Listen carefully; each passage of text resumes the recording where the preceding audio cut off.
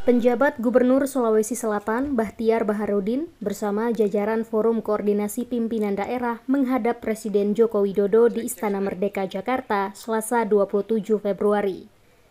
Dalam konferensi pers usai pertemuan, Bahtiar mengungkapkan pertemuannya dengan kepala negara adalah untuk membahas mengenai kelanjutan pembangunan di Makassar, Maros, Sunggu Minasa, dan Takalar atau biasa disebut sebagai kawasan metropolitan Maminasata, serta di Pangkep, di mana Jokowi menginginkan agar kawasan tersebut bisa dibangun menjadi kota yang modern dan canggih.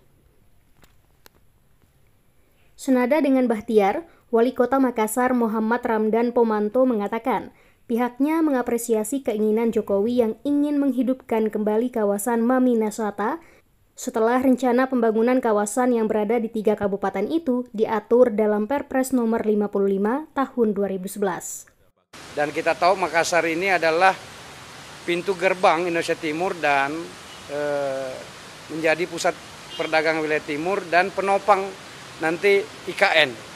Nanti bahan-bahan pangan e, ke IKN itu dari Makassar. Yang kedua, beberapa fasilitas-fasilitas e, penting menjadi uh, konsen juga beliau.